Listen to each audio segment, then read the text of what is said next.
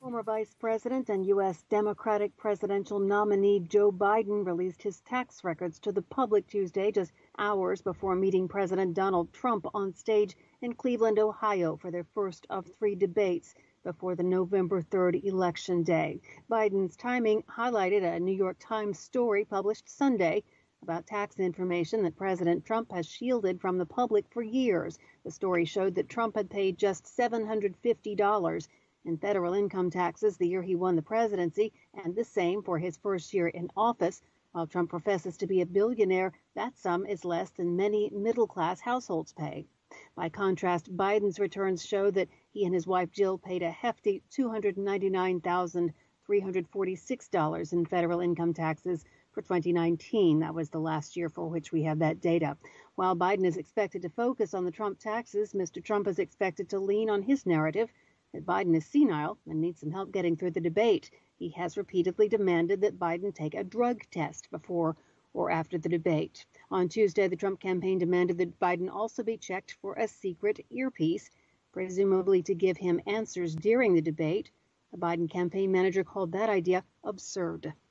North Korea gave no indication on Tuesday that it's moved any closer to denuclearization in its statement during the final day of the UN General Assembly. North Korea's UN ambassador Kim Song said peace can be safeguarded only when one possesses the strength to prevent war. To that end, the ambassador said, quote, peace and serenity of the Korean peninsula and the region are now firmly defended. The administration of President Trump has demanded complete, verifiable, and irreversible denuclearization from the rogue nation, but the two summits between the two leaders have brought no progress so far. VOA News. Armenia and Azerbaijan traded accusations on Tuesday of firing on each other across a shared border. It was the latest sign of a conflict over the breakaway region of Nagorno Karabakh that is threatening to erupt into war. Both countries reported firing to the west of the region, where intense fighting broke out Sunday between ethnic Armenian and, and Azeri forces, killing dozens of people and wounding hundreds of others.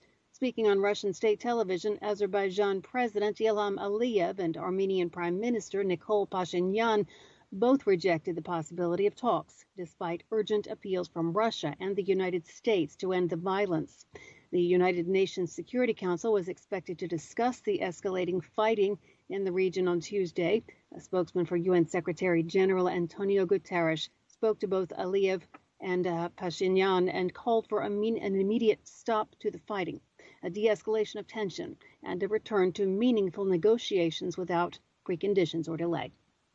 Britain and Canada have imposed sanctions on Belarusian President Alexander Lukashenko, his son, and other top officials for allegedly rigging the country's presidential election and committing acts of violence against protesters. The sanctions are the first imposed by major Western powers against Belarusian government officials.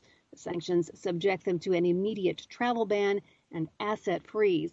Lukashenko's post election crackdown has resulted in the arrest of more than 12,000 people who participated in mass demonstrations that erupted after he claimed victory in an election that opponents allege was stolen. Lukashenko has denied that the election was fixed.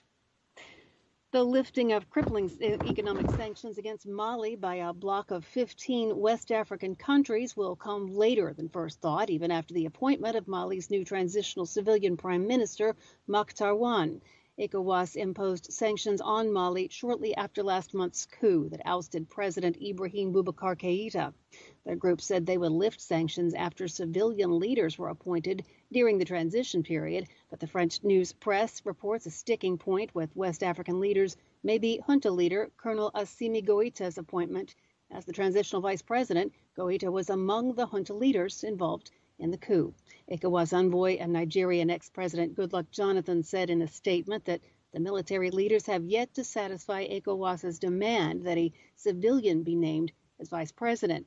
West African leaders are expected to make a decision on their next step after Jonathan submits a formal report to the leader of ECOWAS, which will be reviewed by member countries. Via remote, I'm Marissa Melton from Washington. You're listening to VOA News.